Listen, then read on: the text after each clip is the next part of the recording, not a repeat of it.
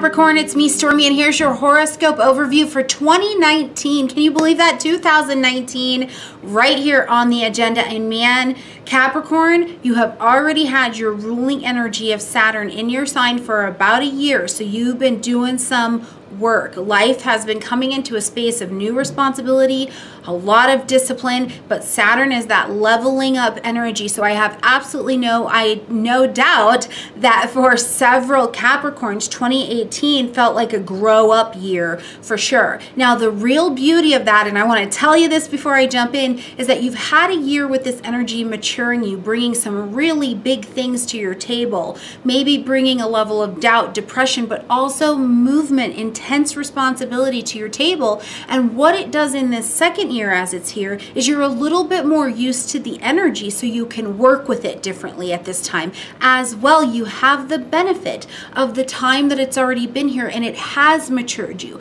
It has given you another place and perspective on how to deal with certain things and you're able to bring that wisdom and that responsibility to the table. So just know in 2019, there's still some big kid stuff going on. There's still some serious adulting happening, but you're absolutely capable, okay? Now, before we jump in and talk about what's happening in 2019, I have got all of the dates for 2019 and for every month up on my blog at stormygrace.com. You can also click in the description box down below and it'll take you right over there. So I've got the major astrological um, aspects and transits that'll be happening all throughout the year. So you can check them out there and I even show you how to use your chart and find what you're looking for and find how it impacts your chart, okay?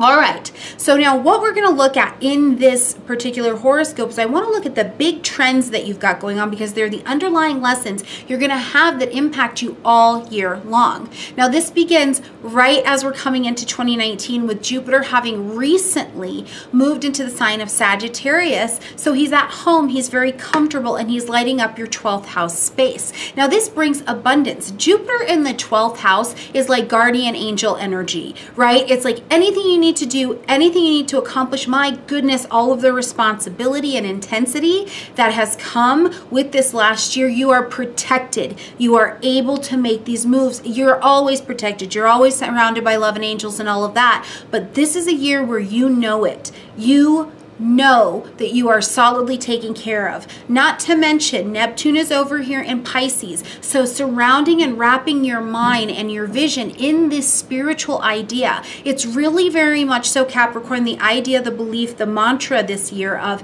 everything happens for a reason. Nothing's happening to me, it's happening within me. I'm participating, right? It really takes the mentality of victimhood off the table, and we all feel that way sometimes. It takes that off the table and puts you in this space where it's like spiritual, mature thinking, and it's, it's, it's expansive. Jupiter's expansive here, so you have got this guardian angel, go for it, we've got you helping kind of energy, which is really important when Saturn and Pluto, and then at the end of the year, Jupiter are all in your sign. It's beautiful energy, but it is intense, okay?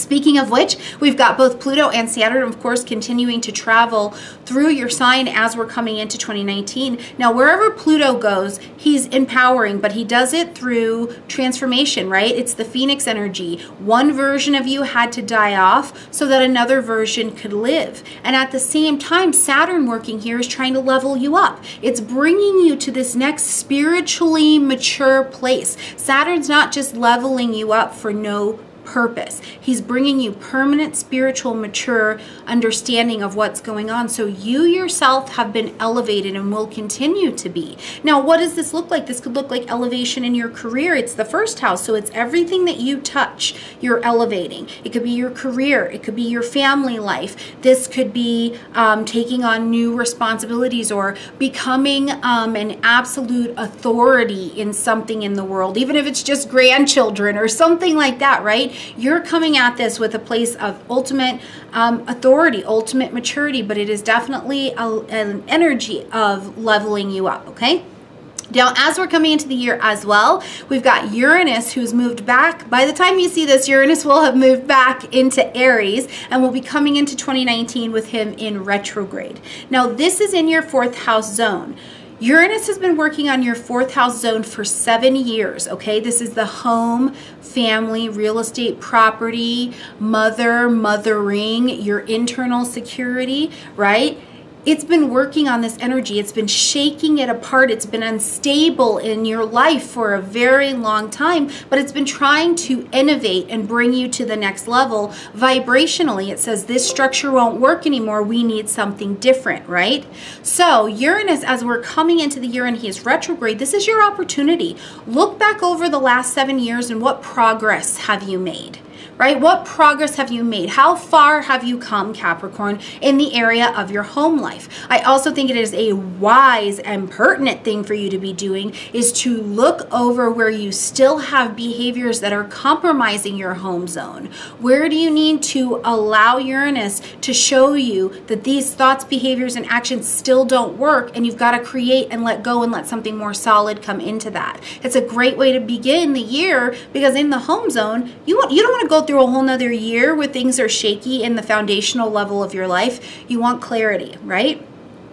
All right, let's jump in and break the year down. So right at the beginning of the year, on the 5th, we've got a solar eclipse that's happening in your sign, right? So the solar eclipse is our new moon. So this is the time where we're going to plant these seeds of intention. What do you want this to be? Where do you want this to go? New beginnings are happening here. And because it's not just a new moon, it's a solar eclipse, this is a new, fresh, blessed beginning for the first six months of your year. Six months, that's half of the year. This is a great start. So where do you want to where do you want to come out? Where have you picked up enough responsibility that you understand how to level up and how to move into that next space? How to take yourself out there and attract a client um, clients who are along the lines of the vein of who you want to be serving. Um, it could definitely be an energy over the next six months that offers you an opportunity to demonstrate your skills or your talent or take your business to the next level. You are coming to the next level with this energy over the next six months. Now, on January 21st, we've got a lunar eclipse that's happening and it acts as our full moon for the month. So it says something has to be ended, acknowledged, or adjusted. We're going to take a shift and it's going to peel and shift over this next six months. Now, this is happening in the sign sign of Leo. So for you, this is the eighth house, and I'm going to just give it to you dirty, Capricorn. You have got to trust yourself, and you have got to find the place where you're willing to be vulnerable enough to trust others, especially romantically? Where can this space be opened? Where can you shed and shine and be vulnerable? And I do feel like this lunar eclipse for some of you may also be bringing back a past relationship or maybe putting it back together. Now, of course, this could be a business partnership. It's anywhere where there's joint resource. The idea here, the word here is adjustment, change, challenge. Um, with trust. I really feel like trust is a thing here. But it could also end a joint resource that you have because for some of you, it may be like, yep, it's time to end this relationship or end a joint connection that we've had in some way, shape, or form. Either way, the lunar eclipse is clearing space, adjusting space so that you have the best version to work with, the best, truest, energetic version for you to make decisions from. Now, as we get to March 7th, Uranus is going to move back into the sign of Taurus. So first and foremost, remember where Uranus goes, he brings excitement, he brings electricity, he brings change. He's coming to break down the structures that have been in this department of your life because he says they no longer work. We need to innovate, we need something fresh and new here so it's effective. Now, the very first thing I think of um, is children when i'm looking at this fifth house for you. It does there need to be a new level of discipline responsibility or something like that with your children? Have your children are your children older? Are they at a new phase? So it's changed where you're at. Um, uranus is not a completely stable energy so you could see a lack of stability with something around children this year for sure but it's a very surprise kind of energy you know now, also true love. I'm telling you what, you could have a romance walk into your life like that, and you're just like, what? Where did this come from?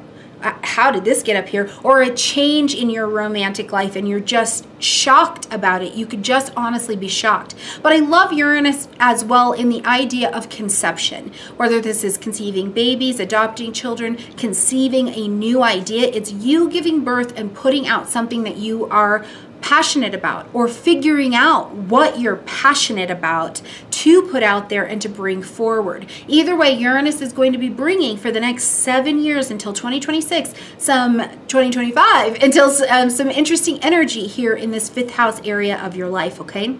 Now, when we get to April, May, and June, they're relatively quiet. We do have moons and all of that kind of stuff, but we'll talk about that in the monthlies. We do have Jupiter, Pluto, Saturn, and Neptune taking retrogrades at that time. But we get exciting again when we get to July and we get back into the eclipse cycle. So First and foremost, we've got an eclipse, a solar eclipse happening on July 2nd here in Cancer. So this is just across the street. This is relationships, one-on-one -on -one partnerships, conscious chosen relationships, right? So these are not just the ones you're thrust into by karma. You've chosen these people to be in your life for some reason, okay?